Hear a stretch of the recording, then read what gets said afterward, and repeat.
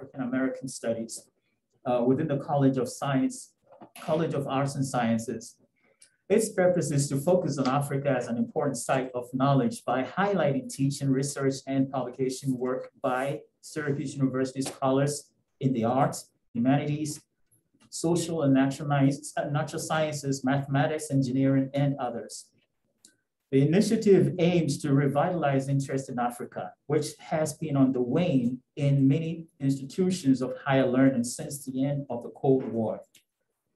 In this respect, it is important to note that Syracuse University once had a vibrant African studies program.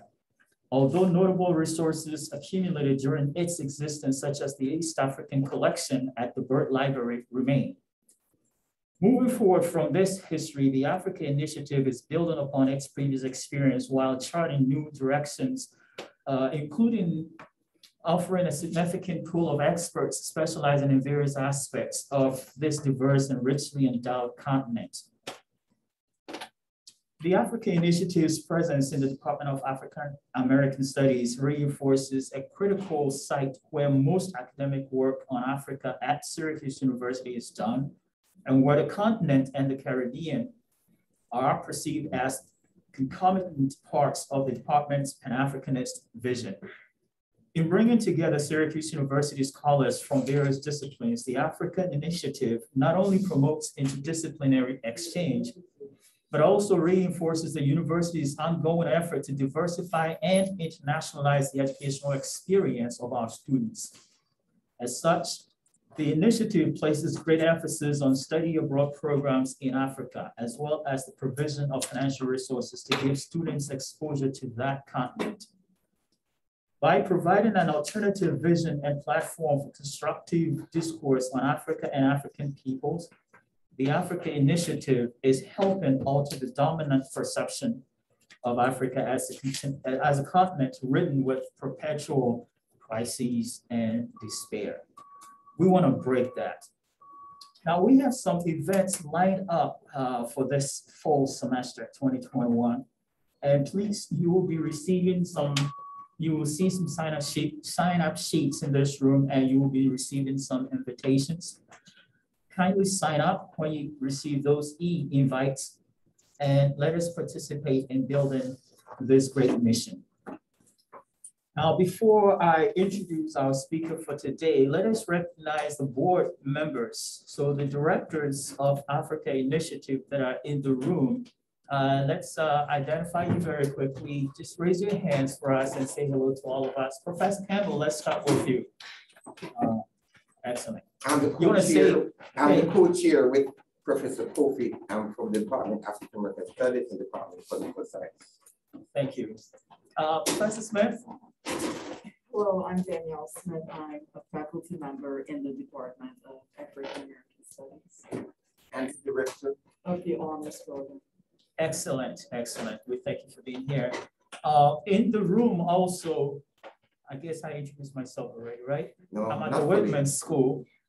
Uh, I teach financial reporting and I love corporate governance as well. So I do that a lot on campus and across the country. We have a wonderful newest member of our board. He, she's going to be our speaker for the day. So there, just give us a wave. We'll see the rest of you for tonight. Yeah. Great. Online with us, we have Professor Roy Campbell. Uh, I'm not sure if she'll be able to talk right now, but we would love to hear from them if possible. Uh, she's also on our board of directors. And we also have Professor Shanguya who is online. At least I heard from the two of them that they are online. They texted me at the beginning Francis. Oh, Professor Francis on there as well. Wonderful. She, uh, he has been helping us a lot from ESF, so we appreciate the involvement. Uh, we have, uh, who are the, okay, Joanna Masingila is probably not with us unless I don't She's on leave this semester. Okay, uh, there are some excused absences. Uh, Ruffin from the African American Studies, right here. His office is across the hall. And um, Peter. Peter Castro. Peter Castro. I know I'm missing one that I want to mention. Did I catch everybody? I hope I did. if I didn't, I will take the sacrifice. Now for the rest of this evening, so that we can save about 20 minutes extra for her, Matea, and we usually call her Mahi, Sarah is a political science PhD candidate. Candidate, not just a student. Congratulations to her.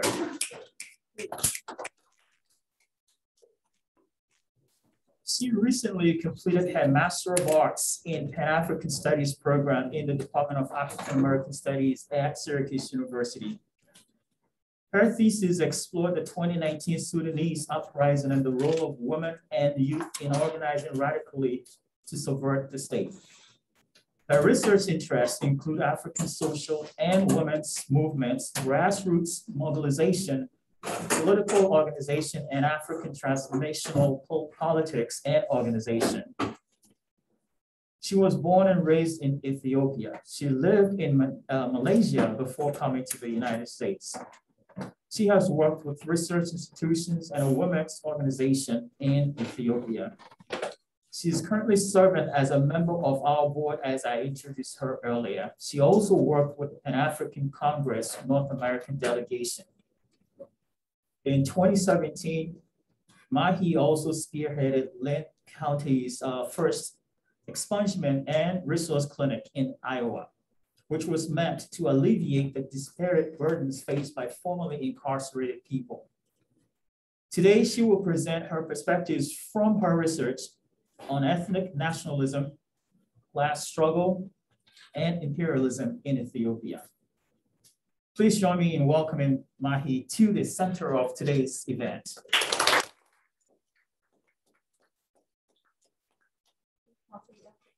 and everybody who is here today. Um, I appreciate you coming, and I'm glad to have a full house so that we can discuss the ongoing situation in Ethiopia.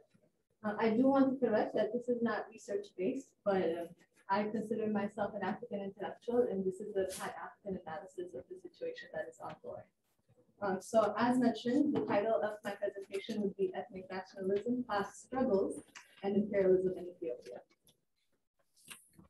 So I'm sure that most of you have heard at least like the last few months, at least once have seen like a headline about something happening in Ethiopia.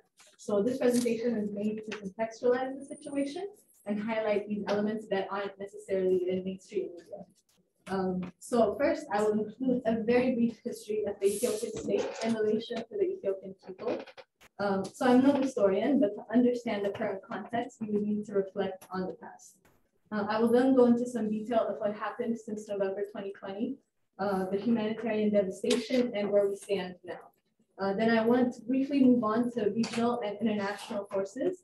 Um, I will close by explaining what is meant uh, by imperialism and my aspirations as a young uh, Ethiopian. So I'm hoping to provide an interrelated analysis of the local, regional, and international, and hoping to create discussion afterwards. So the Ethiopian, uh, Ethiopia and the Ethiopian state has a long history of over 3,000 years. Um, and as one of the oldest civilizations in the world and as one of Africa's oldest independent countries. Um, so you see a timeline on your um, right over there, so you feel free to follow that. A common thread throughout all the periods on that timeline is the class struggles in Ethiopia enmeshed with ethnic oppression. No matter the nature of the state, there have been periodic uprisings and resistance the forms and groups have changed uh, depending on the period, but the central issues have rem remained the same. Uh, some of those central issues include land rights, um, ethnic targeting, and systemic oppression. Uh, since the feudal period, the questions and concerns of the Ethiopian peasantry, which has and remains to be the majority Ethiopian class, has not been answered. Uh, we are now a country of 110 million people, the second largest in Africa, and regardless of the double digit growths recorded over the last few decades, majority of Ethiopians live without access to clean water, electricity, housing, infrastructure, and other things we consider basic human rights. So from 1930 to 1974, uh, Ethiopia was under a feudalistic system led by Emperor Haile Selassie and mainly an Amhara elite ruling class. Uh, historically, the monarchy and the church have held considerable power in Ethiopia, Emperor Haile Selassie is revered at home and abroad, Um, but during his period uh, of rule, the oppression of nationalities and the exploitative feudal system under his rule created mass discontent. And so that mass discontent uh, by the late 1960s and 1970s formed what we call, what we know as the student movement, organized under the main slogan of land to the tiller. So by 1974, the student movement broke out as the student revolution. Ethiopia underwent a revolution. And I stress the word revolution because of the radical changes that happened initially during that time, uh, like the, distribution of land and property, like the nationalization of industry, uh, a mass education program. Um, but like many revolutions, differences arose between different factions of the revolution and made way for a brutal military regime, um, which ruled Ethiopia for about 15 years. This period also signifies an attack on the Ethiopian intellectual and artists. Um, so during the reign of Mengistu Haile Mariam, uh, ethno-regional struggles continued. Uh, you had groups from Gambela, Amhara, and other places staging resistance. Uh, some of the most well-known resistances came from Somalia, which manifested as the Ogaden War. Um, and then you had the Tigray Liberation Front, TPLF, and the Eritrean People's Liberation Front, which were some of the more better organized organizations. So by 1991, uh, TPLF took control of the capital and removed the military dictatorial regime. And EPDRF came in as a coalition of the Oromo Democratic Party, the Amhara Democratic Party, the Southern Ethiopian People's Democratic Movement, and TPLF. Uh, most of these other sister um, parties were mainly formed by the TPLF, and the TPLF maintained a dominant force in the party, in the coalition party. So because of the concerns and the demands of the people at large, uh, EPRDF spoke the language of self-determination. It instituted ethnic federalism. It crafted the new constitution, which included Article 39, which gave Ethiopia's ethnic states the legal right to secede. Um, it is important to highlight that the ruling class that consolidated power after the revolution, after the armed struggles and the popular right uprisings in Ethiopia had to address the calls of the people. Um, and ethnic federalism was just a response to the struggle at the current period. Um, so to explain TPLF-led EPRDF's rule from 1991 to 2018, and why this presentation poses ethnic nationalism as a mask to obscure class struggles, I want to use this excerpt from Archie Mafeje's The Tribal Ideology. So it reads, and I quote, um, this is not to deny the existence of ethnic ideology and sentiment in Africa.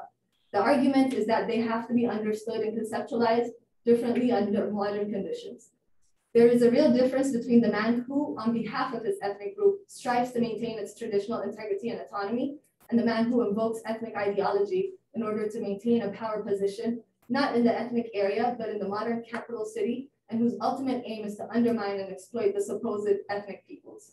The fact that it works, as is often pointed out by ethnic ideologists or tribal ideologists, is no proof that tribes or tribalism exist in any objective sense. If anything, it is the mark of false consciousness on the part of the ethnic people who subscribe to an ideology that is inconsistent with their material base and therefore unwittingly respond to the call for their own exploitation on the part of the new African exploitation. So on the part of the new African elite, it is a ploy or distortion they use to conceal their own exploitative role. So um, upon entering uh, the capital and uh, resuming power, the TPLF-led EPRDF disbanded the Ethiopian army and uh, created a new national army and other security apparatuses, including a federal police force and an intelligence agency, all of which were mainly dominated by TPLF elites. Uh, and this form of political dominance uh, allowed or facilitated the economic dominance of the ruling classes. So federalism was only in name because economic and political power remained centralized. Uh, the TPLF and ruling elite designed ways to use the state to accumulate wealth. Uh, in fact, as some of the numbers you see on your screen, uh, by 2015, a UN report on illicit financial flows showed an accused TPLF-led Ethiopia, the TPLF-led EPRDF government of stealing more than 30 billion within their time in power. Uh, there were state institutions built to funnel money to individuals. And one of those uh, institutions is EFFORT, uh, which is the acronym for Endowment Fund for the Rehabilitation of Tigray. It was formed to rehabilitate the region because it had the region has seen a lot of war um, during the, the armed struggle. So it is an umbrella company for a group of businesses which are involved in major industrial activities, which range from banking and insurances to communications and media uh, to mining sector and others. The CEOs and the general managers of these companies remain top officials of the TPLF. Uh, the initial capital was under uh, the initial capital was around 100 million US dollars, and by 2017 it had reached 3 billion dollars in paid capital. So um, TPLF also provided what you would call seed money to other endowment funds in other regions with the uh, with the sister political parties under the EPDRF uh, coalition group. So you had uh, one in Oromia, you had one in the Southern Nations, Nationalities and Peoples region, and you had another in the Amhara region. In Oromia, it was the Tumsa Endowment Fund. In Amhara, it was Tiret. And in SNNPR, it was one. And, and all were led by senior officials in the earlier mentioned sister parties that made up the EPDRF, EPRDF. So it is important to note, however, uh, the combined numbers of companies run by these three endowments uh, were less than 20, whereas the companies under effort were uh, numbered to be 24, and some other numbers reflect over 300. So uh, effort particularly created more than 47,000 deployment opportunities in Tigray. And this perhaps is the indirect way the TPLF benefited the working class in Tigray. In comparison, Tiret, the Amhara counterpart of efforts, employed 2,800 people. So not to mention that some of the, the some of the largest and poorest regions in Ethiopia, mainly the Somali, Afar, Benishangul Gumuz region, and Gambela regions, did not have any endowment funds to deal with their uh, histories of war torn um, periods. So another another um, organization that's up there is Metec. It's not an organization. It's, it was Ethiopia's largest company before it was disbanded. It was a military-run industrial conglomerate with 98 companies. Two of them manufactured uh, military equipment, where the rest manufactured things ranging from TVs to plastic products. So these are uh, the way, the way, this was the way how the state was used for capital accumulation, uh, because Metec, for example, was given large uh, state uh, projects. So aside from these large schemes of exploitation, uh, land grabbing in the name of development, uh, massacres in both the Amhara and Oromo regions occurred. You had war crimes and crimes against humanity in the Ogaden region. You had the suppression of the peoples of Afar and Gambela. You had fraudulent elections. Uh, and you had the suppression of Oromos in response to their struggle for self-determination, which technically was legal under Article 39.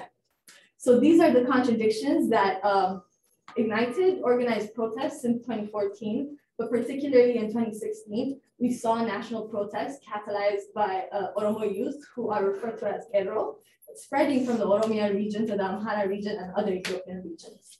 Um, I want to say like a seldom mentioned story is that when the Ero, the Ero youth uh, went out on the streets, uh, one thing we saw was that the Fano youth, which is a term used to refer to the Amhara youth, joined them in solidarity and by interlocking their struggles. Um, so in addition to all of these uh, contradictions happening, there was an internal political struggle. So the ousting of the TPLF uh, from power came in 2018 uh, after Prime Minister Haile Mariam Desalegn, who had led the EPRDF after Meles Zenawi's death, uh, resigned from his position. Abiy Ahmed was appointed his successor. So it's kind of essential in my presentation to emphasize that Prime Minister Abiy came to power through the people, including the Tigrayan people who welcomed him cheerfully back in 2018. The Prime Minister's initial reforms included making peace with Eritrea, uh, better relations with Somalia and other uh, countries in the Horn, uh, recalling of exiled political groups and individuals, promoting press freedom, and initiating the Green Legacy campaign.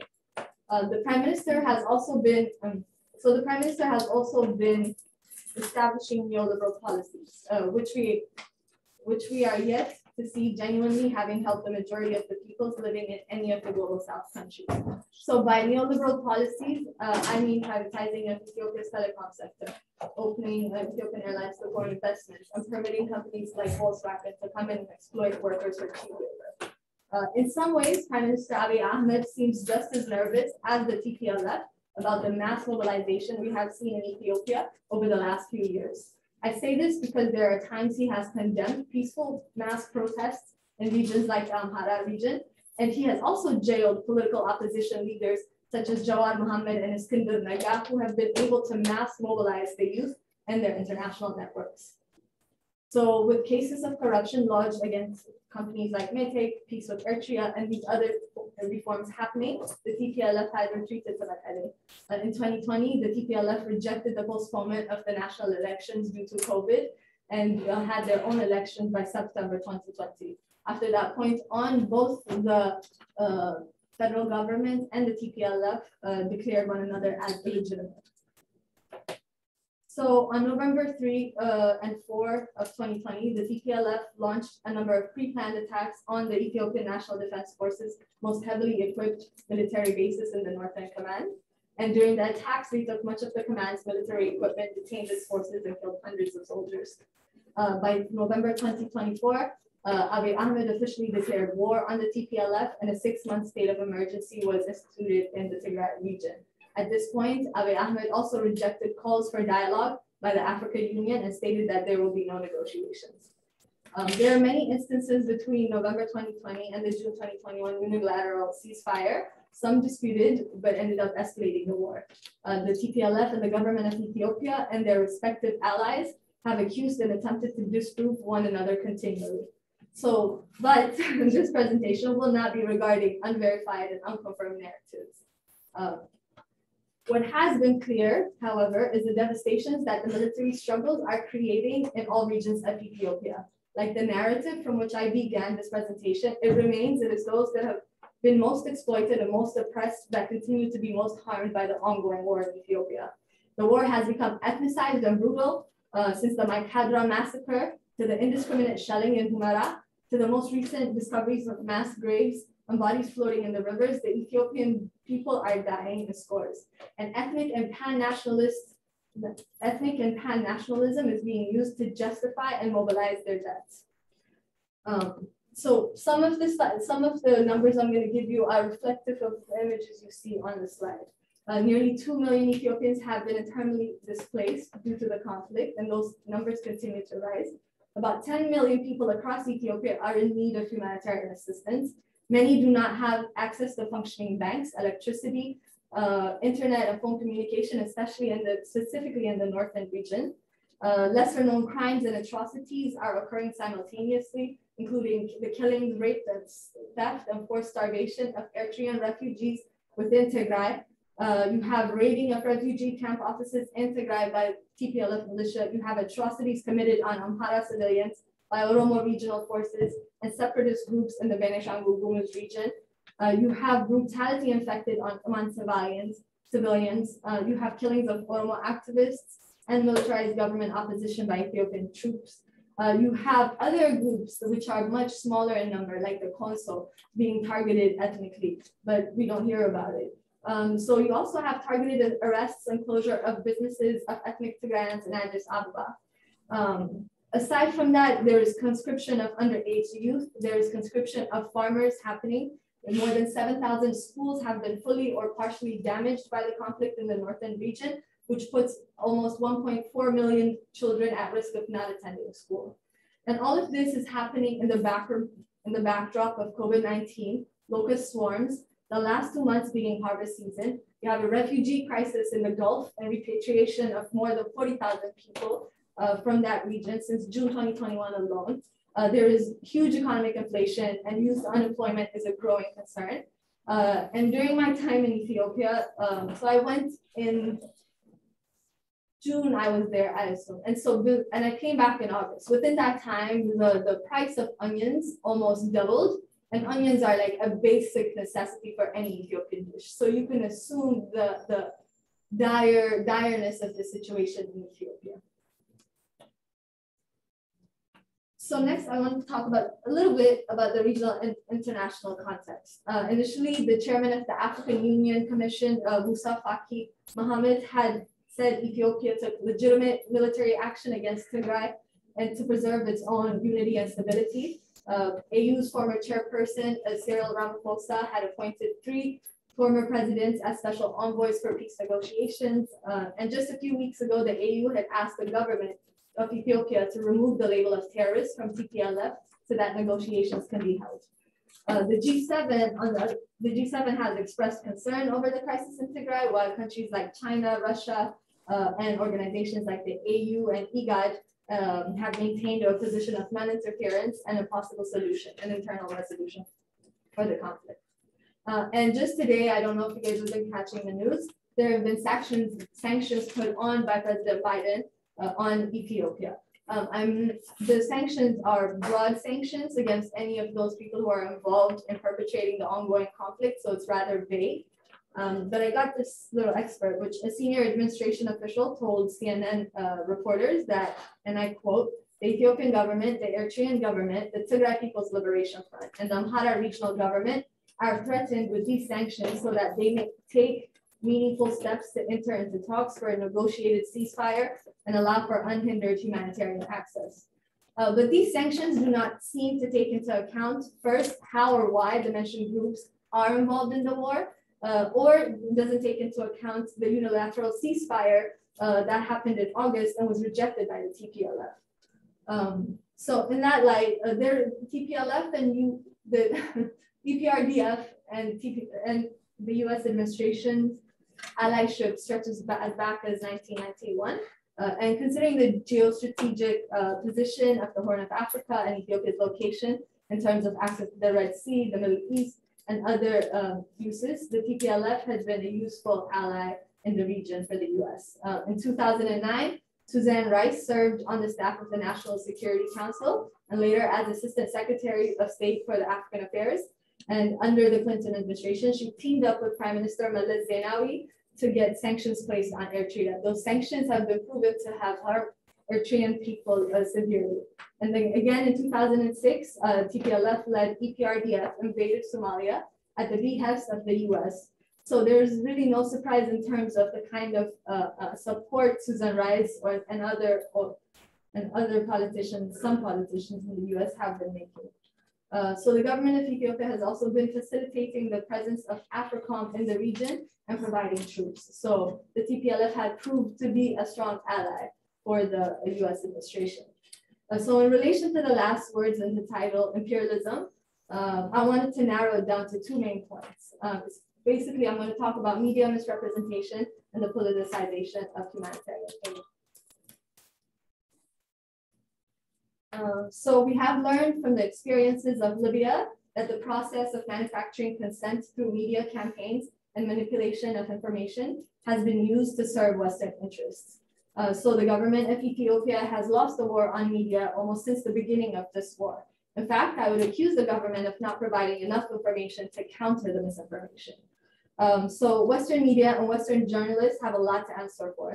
Uh, from the start, without necessary data or preliminary research, and I'm talking about the first few weeks of when this war had started, there were labels of war and genocide, uh, and there were established clear lines of antagonist and protagonist in the stories published in mainstream media. Um, secondly, as you see on your right, um, renowned newspapers like the New York Times inaccurately reported and used data. And when it was forced to correct it, they did so without necessary uh, without the necessary acknowledgement. Uh, and then third, you see things like the misuse of images, like the one you see the young children over there. Um, I think this image is actually a children, a, a picture of children in Wello in the Amhara region, but it was used by CBS in an article about an impending hunger crisis in the Tigray region. And last but not least, you have academics uh, like this person here, uh, who is, I don't know how to pronounce his name, but Jetiel Tronavol, I assume, uh, who have inflamed and mischaracterized information. In this particular tweet, he says that the government refers to Tigrayans using genocidal language, but the Amharic version is clear about who the government is referring to and in what cultural context that is being said. Um, so my next point is on the politicization of humanitarian aid. Uh, first and foremost, like the European Union had been pushing for a UN resolution, and there wasn't really a lot of uh, a response from the, uh, the government of Ethiopia in terms of having negotiations. So the EU threatened to cut off roughly $100 million of aid to Ethiopia if the, the government did not com commit to the ceasefire.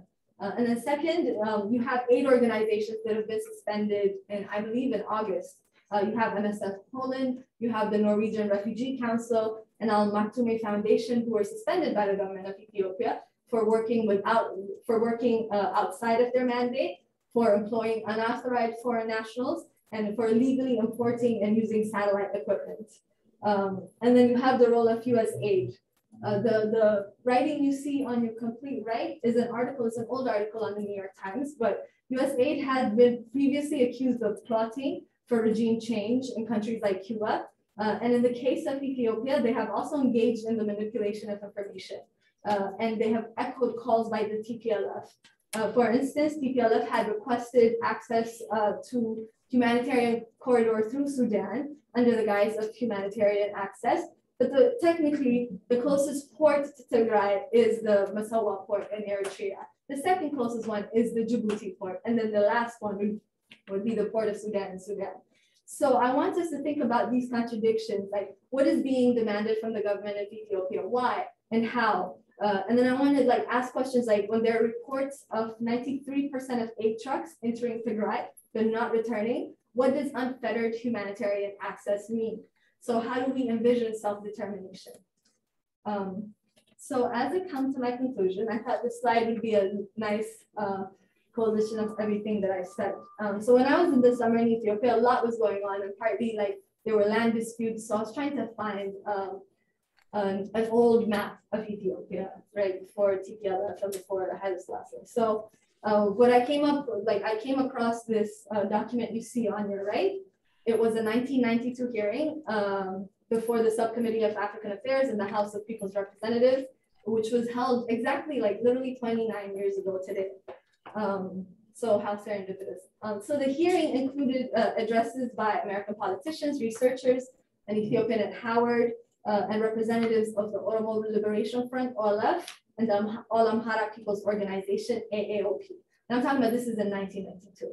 So at, this, at that time, the TPLF under the EPRDF was in power, and the two groups, the OLF and the Amhara People's Organizations, at these hearings accused the TPLF and its coalition of parties under the EPRDF of the disregard to Universal Declaration of Human Rights, targeted ethnic cleansings and suppression of opposition, uh, unfair elections, and the installment of the Tigrayan uh, party elite in different offices and important offices. So I wanted to include it into my presentation today because it allows us to understand two things. First is that ethnic nationalism and ethnic federalism in Ethiopia has been superficial since its inception yet it has been legitimized by men like Herman Cohen to your left, who was at that point the Assistant Secretary of State, Bureau of African Affairs, who responded to the accusations of OLF and AAOP by saying, uh, when asked about, oh, what should the judicial reform, when will it happen? He said, uh, their hands are full, they being TPLF, and they probably haven't been able to get to it. And he said, let us give them time.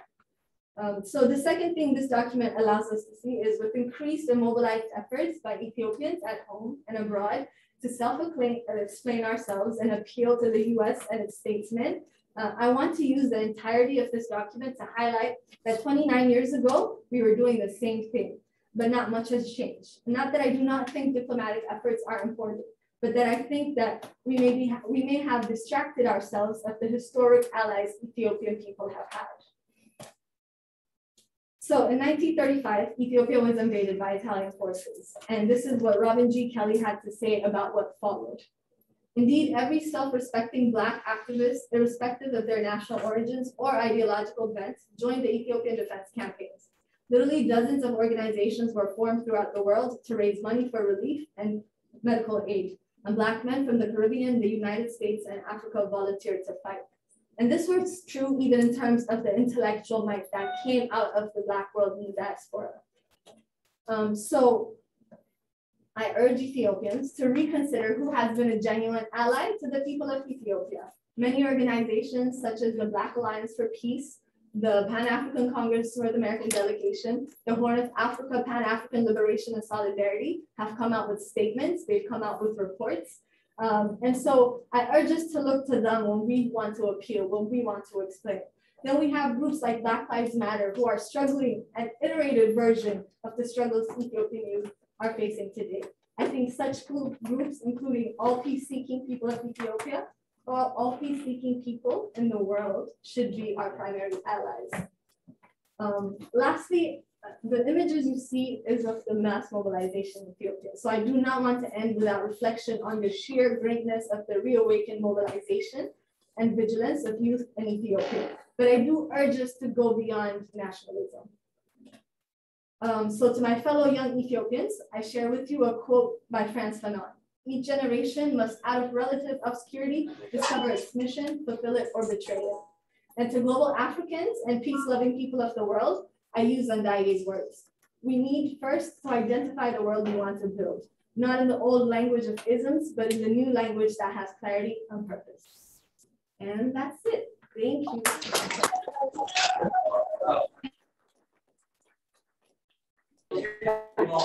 That was great. Now we're gonna allow plenty of time for questions and we might finish.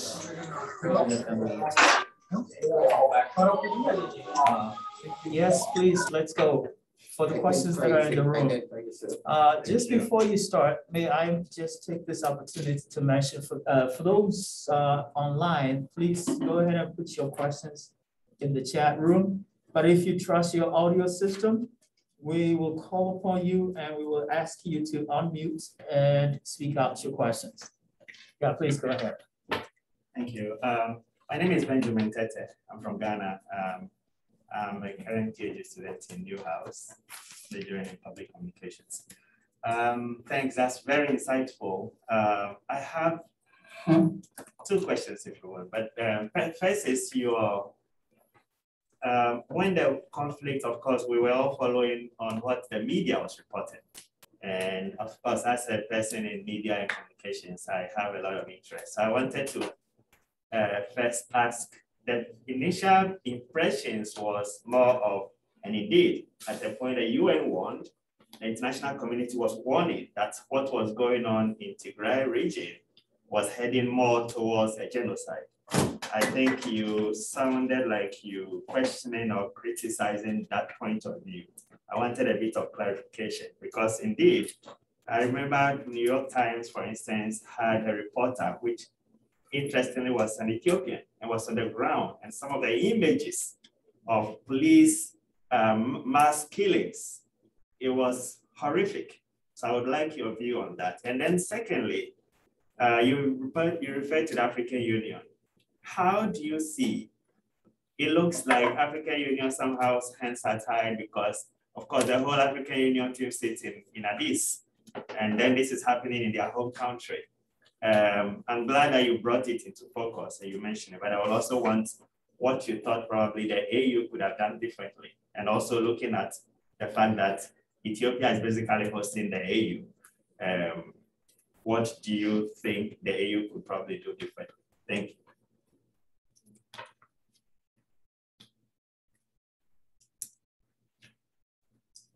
Thank you so much. My name is uh, Shabit Zaman. I'm from Benin Republic. I'm a scholar. Right now, I'm uh, actually I'm a Humphrey Fellow at Maxwell School. So I have three questions. The first one is about: uh, Are you seeing that uh, the in the the external hands of Syrian conflicts, you know, in that area, like uh, the Syrians are supported by any neighboring countries?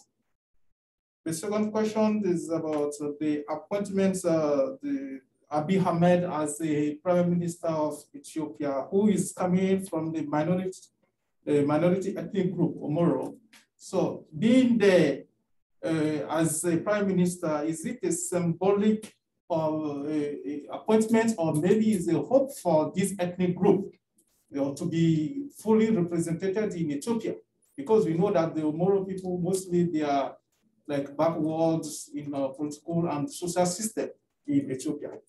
And lastly, we all know that uh, Obama received the Prize Nobel of Peace, the US, we all know what's happened in the Middle East when he received the, the prize. Aung San Suu Kyi also from Romania received the Nobel Prize of Peace. Abiy Ahmed received the Nobel Prize of Peace. Do you think that we should withdraw, we should withdraw that prize from him? yes. Thank you. So let me start by answering these four questions, I guess. Um, so as for the classifications of genocide, um, you mentioned, Benjamin, Um, so genocide is a very specific term used in very specific instances, right? So why I started this uh, talk today with a certain kind of uh, unobscuring of what is going on is in hopes that uh, we understand the, the real friction happening. As for the genocide, uh, there is, I mean, between since November 2020 and literally even yesterday, I was following up on the news just to see what's happened the amount of information that is coming out and the scale of death that is coming out, um, it is not, you cannot call one side a culprit and the other a victim. There is so much happening on so many scales. So my answer to that will be, I will call it a genocide when we have researched on it, when we have seen the deaths are happening in different parts of Ethiopia in different ways. And so the term genocide itself comes with connotations and, and punishment or disciplinary measures that is used by Western interests. Why that is put out in the media is for a reason. So I don't want to reproduce that term just yet. Do I think there has been ethnically targeted killings and all that? I do. That is for sure. Um, as for what do you think the AU can do differently? Um, I think as all African states should be looking to the AU, uh, there's the A3 in the UN who has been supporting Ethiopia. I believe in self-determination. I think we should have an internal resolution. I think to, to like to answer the question, what should the AU do? I think uh, the African people have that answer. I think the African people should build the AU, should reinforce its existence because it is one of the only uh, multilateral organizations that have been built by us and for us. No matter its shortcomings, um, I think that is where the African people should uh, put their resources towards. Um, and then I'll come to you. Um, sorry, your name again? Shabi. Shabi, okay. Um, so Shabi, your first question is neighboring countries and so forth. Um, there's a lot of information that Egypt is supporting because there are many separatist groups aside from the TPLF functioning in different regions of Ethiopia right now. So there's many information coming out that Egypt is uh, uh, funding these separatist groups. There's also information that the Sudanese government is uh, but I want to make this distinction, like why Egypt and Sudan are not in my presentation today is because uh, the West normally uses, like I think a CIA report yesterday, not a CIA, but a USAID report came out yesterday, and it talked about how potentially Egypt and Sudan can fund uh, these other groups, but they're not doing it or they might be doing it. So I wanted to be like, who is funding Egypt and Sudan in the first place? So, you know, right now, I don't know, you can look up, uh, I forgot the numbers, but Egypt's military was funded by who? It's the US administration. Uh, so even in Sudan, uh, the people of Sudan in 2019, they showed us the struggle. The Sudanese people are our people, are my people, are you know African people. The Sudanese regime, however, is something uh, that has been uh, the military has had a major. We've seen a back and forth between civilians and the military. So uh, do I trust the military regime of Sudan? No, because even the people of Sudan did not trust it and wanted to remove it. Um, and then your last question of should we uh, revoke the peace prize from Abiy? Is that the question? Or no, the next, the next question is about uh, the prize uh, given to Abiy Ahmed. I say he's coming from uh, his Omoro, yes? Yes, yes. Okay, and the, Omoro, we know that the class struggle is like a caste system in India. Mm -hmm. So then he's there as a, a, a representing the minority caste or groups, but how comes that these these people are still marginalized under you know his uh, leadership? Uh, well, yes. I, first of all, since Abiy has been into power, there's been a huge internal political struggle amongst the elites in Ethiopia. And he was part of the EPRDF, so that is worth noting as well. Uh, it seems from the kind of statements he brings and the agenda he puts forth, he has a pan-Ethiopian uh, agenda and not necessarily uh, a representative one. Uh, and I would answer, my answer would be as a country of a nation with 80 different ethnicities, not four, not two, but 80, um, it would be wise for Abiy Ahmed to represent all of Ethiopians if he is going to usher us into the next era. So it means that he's just there as a symbol, that's all. Well, as mentioned in my presentation, he came in through the people. So he, he was appointed by the, the current regime, but the people chose him um, okay, in some ways indirectly. The last question about the price uh, number of the fees that he received. And then the saying that he will never negotiate with the Tigrayans. Someone who received a prize, Nobel Prize of Peace saying that no, there is no way to negotiate. So what do you think about it? Well, when you receive the prize, the Nobel Prize for Peace, so it means that you are a symbol of dialogue, mm -hmm. for negotiation, for mediation. Saying that no way to negotiate just recently, one year ago, even less than one year. So how do you perceive that one? Well, as you kind of mentioned, I don't think the Nobel Peace Prize and those who give that prize really are talking about peace. It's, I think it's a political uh, symbol because Obama got it and San Suu Kyi got it and their actions went. Uh, but aside from that, um, do I think he needs to uh, bring peace? He does. Um, how is that peace going to come? When I was in Ethiopia, I got to talk to different people. Um, why I ended it with I urge Ethiopians not to be nationalistic is that many parts of our societies are really polarized. Um, some people support what he's doing, some people are against it, but. Uh, just before we proceed, I just want us to interject something very, very important and find another opportunity to recognize the great work that is happening here at the African American Studies. So, Mr. Co-Chair, please permit me to do this. Uh, and then we'll come back to the questions. So please go ahead and think about your questions. We have plenty of time for questions. But the African American Studies uh, Department has done great things. And the department chair is online with us, has been with us from the very beginning.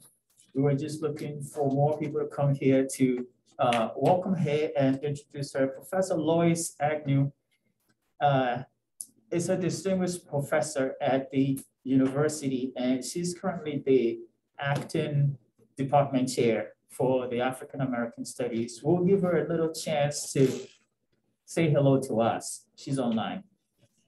Thank you so much, Kofi, and greetings to everyone. Um, I'm delighted to be uh, able to serve as interim chair of the African American Studies Department this year and uh, welcome everyone. It's wonderful to see such an excellent turnout. Thanks to the Africa Initiative Board for organizing this event and to Mahder for the excellent presentation. I've learned a lot and I'm so pleased to be here with you and um, find these kinds of events so stimulating and exciting. And this is this is just what life at the university should be like. So thank you for making this opportunity available. Thank you very much. Thank you. Now we'll get back to our questions. Uh, who might be next? Shall we ask the people on Zoom? Yes. Um, our friends on Zoom, please, uh, if you have any questions, you can. All right.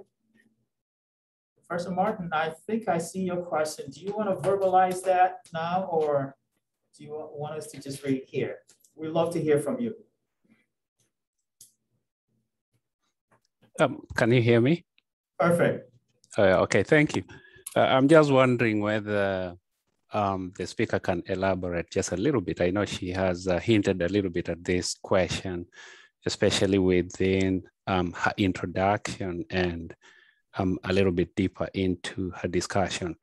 Um, the extent which class is uh, still a major contributing factor to uh, the conflict uh, in Ethiopia, especially within the current, uh, you know, the current uh, period, as compared to, let's say, you know, the role of resources. And this sense, I'm thinking of land, uh, the land resource and ethnicity.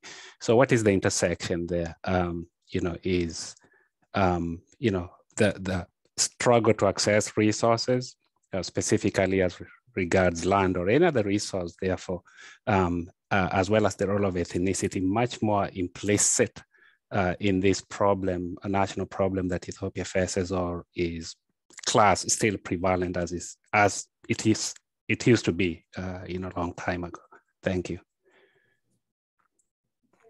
Thank you, Dr. Shanguhyia. Um, well, I'm hoping that from my presentation came out that class has always been an issue and that the same rights, whether it was during the feudal period, asking for land rights and land to the tiller, to now when the Oromo protest erupted, it was because there was land grabbing happening outside the outskirts of uh, Addis Ababa, the capital.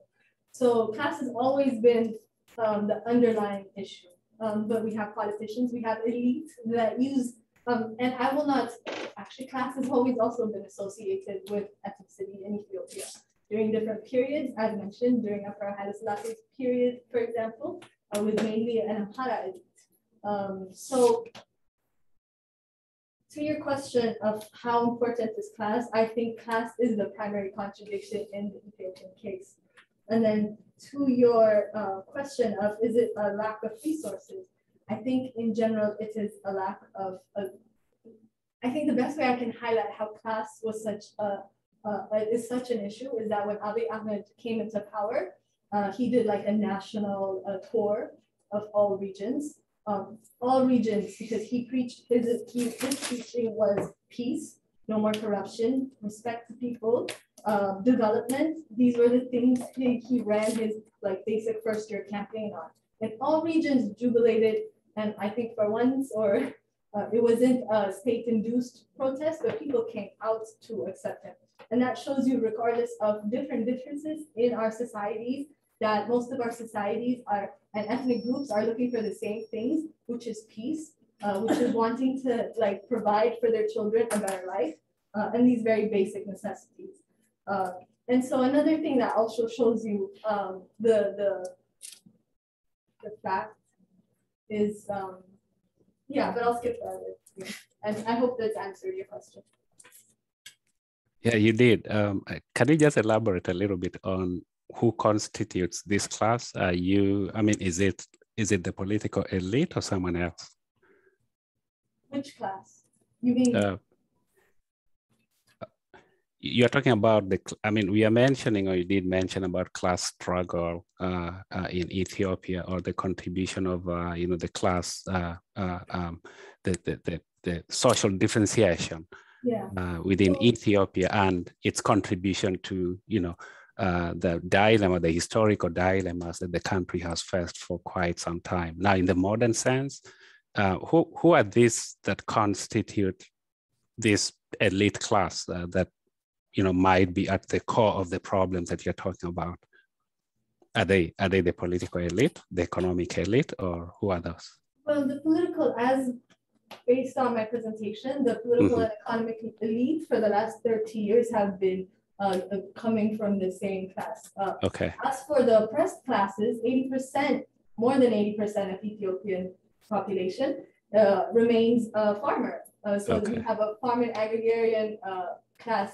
uh, that is still the majority in Ethiopia. So okay. when you have policies of uh, under the guise of development, of privatization and the likes, and uh, the kind of investments done by the state, it mm-hmm.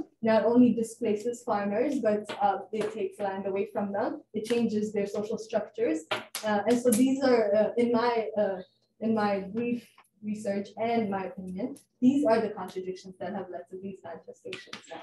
And as for the, the yeah. Okay. All right. Thank you. Ani, there's a quick question here. Um, it's a little too soon for you to assess the initiative that uh, Pro, uh, President Biden is bringing today. Uh, but are you willing to give any prognosis on what it might do based on what you have outlined here today in the history of alliances that Ethiopia has had. Okay, so with the sanction, I tried to find documents, clear documents, but I mainly ended up reading just news articles by CNN, CNN and CBS. So it's a broad sanction against, like, so the statement is a broad sanction against anyone involved in perpetrating the ongoing conflict in Ethiopia. Uh, throughout the two things I mentioned with media misrepresentation and with the politicization of aid, it looks like the US administration has been leaning towards one side, which happens to be the TPLF, whether it's by emissions uh, or whether it's by uh, uh, putting equal pressure on both groups when